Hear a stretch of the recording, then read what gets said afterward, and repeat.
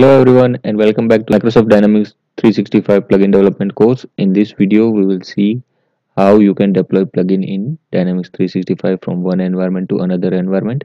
In previous video we have seen how you can register a plugin. In this video we will see how you can deploy a plugin from one environment to another.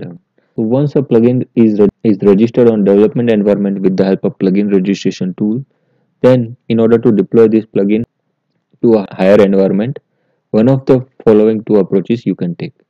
Either you can register the plugin manually to higher environment like if you have registered the plugin with the help of plugin registration tool on development environment then they follow the same approach for your UAT or production environment.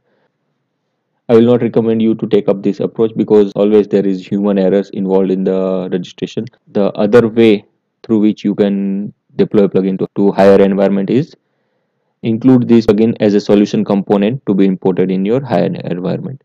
But you need to keep one thing in mind that if there are any plugins for which you have uh, configured the secure configuration during the plugin registration steps then you have to providing the, the secure configuration every time you deploy to higher version. So simply because of the fact that secure configuration will not be carried forwarded to a higher environment. So having said that, we conclude the module number three, that is plugin registration and deployment.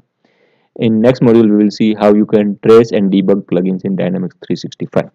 And hope to see you all in the next module. Thank you and take care. Bye-bye.